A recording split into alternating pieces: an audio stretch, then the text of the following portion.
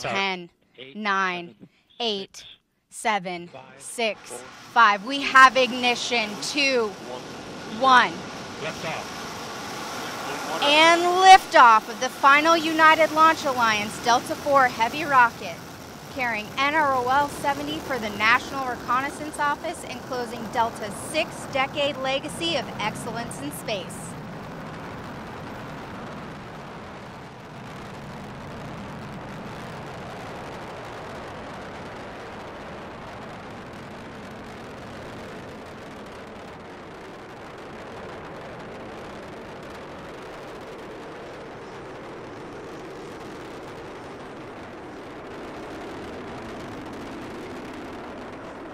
Probably down in expected.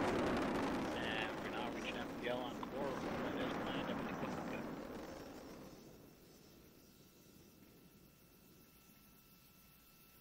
Is at min power level. Port and starboard strap-on still operating at enhanced power level. You are hearing the voice of Rob Gannon providing launch vehicle ascent data. Parameters look good. Flight control disturbances look good. And we have fired the isolation pyro valve on second stage reaction control system. And step in readying that system for operation. Continue to look good. And we've passed through Mach 1 and Mach 2. Normal strips there, everything looks good. All three boosters operating as expected.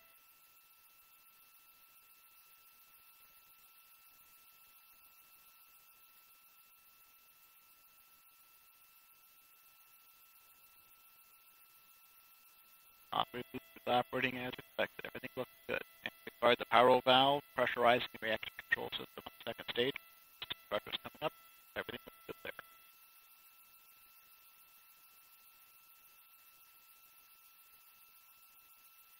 What we're looking for is going to closed loop guidance. Up at three or four seconds. And we've started closed loop guidance. Vehicle maneuvering as expected. All three engines continue to look good.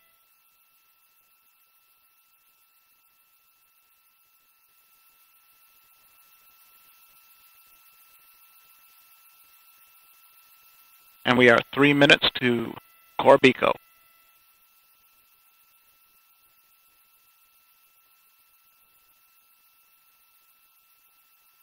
And the vehicle is now one half its liftoff weight. All three engines operating normally, everything looking good.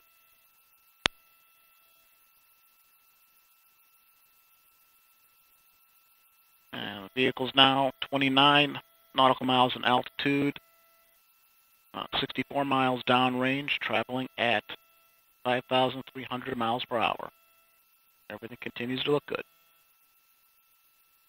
And we've just passed through the Kármán line, reaching 100 kilometers in altitude.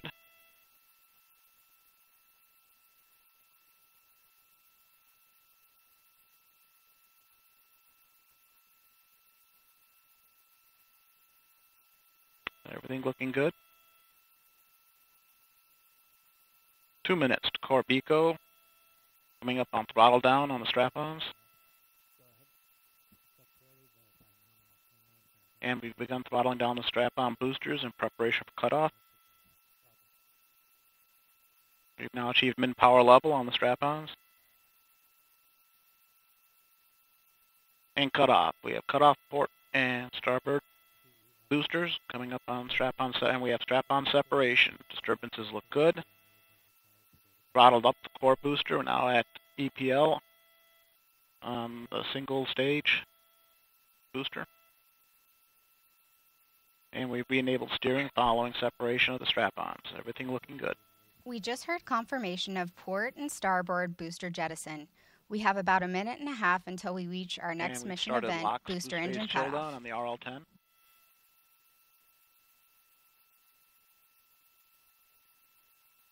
One minute core BECO.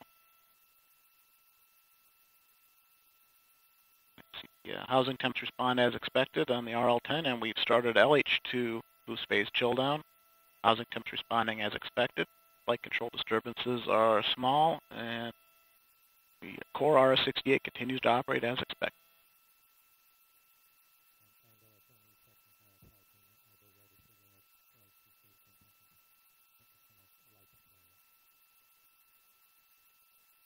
About 20 seconds to our next mark event, throttling down the core booster in preparation for BECO.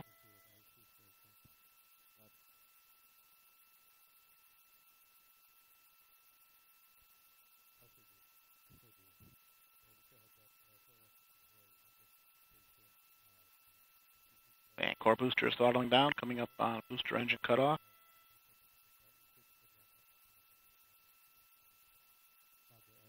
And we have BECO. Cutoff on the booster, everything looking good.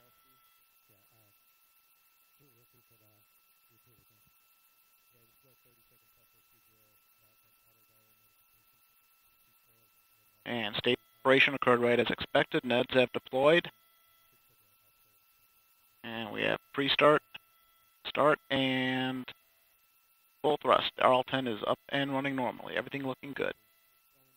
Enabled steering of the second stage. Second stage operating normally. Coming up on fairing separation.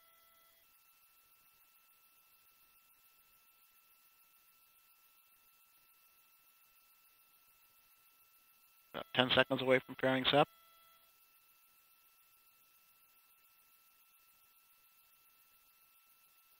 Five seconds to fairing sep, and we have fairing separation. Disturbances look good. Upper stage is operating normally. And once again, steering has been re-enabled after the separation event.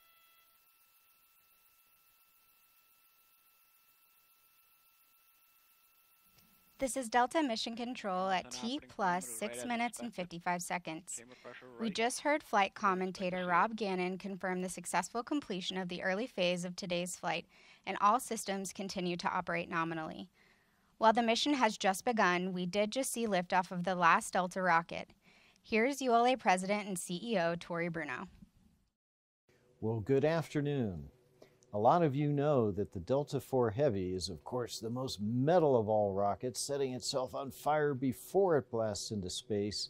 But I also want to talk about its tremendous contribution to our nation, to exploration, to national security. The Delta IV Heavy still today flies missions that no other rocket can fly. Soon Vulcan will pick up that mantle, and we're going to retire this venerable rocket that has made so much important work for our country. And I want to thank everyone who has been involved with the Delta IV Heavy. We have many employees who are here for the very first Delta IV launch, who are still here now for the last Delta IV launch to send off this great vehicle into its well earned retirement. Thank you all. Hi, everyone. I'm now joined by ULA's Launch System Director, Bill Cullen. Bill, thank you so much for joining us today. Oh, thanks for having me, Andrea. Um, we just saw a really magnificent launch for the last time. Um, this has a little bit of a special meaning to you, is my understanding, because you started your career working on the Delta program. I did. So tell us a little bit about what this experience means to you. Well, so it, it is bittersweet, Yeah. but but it's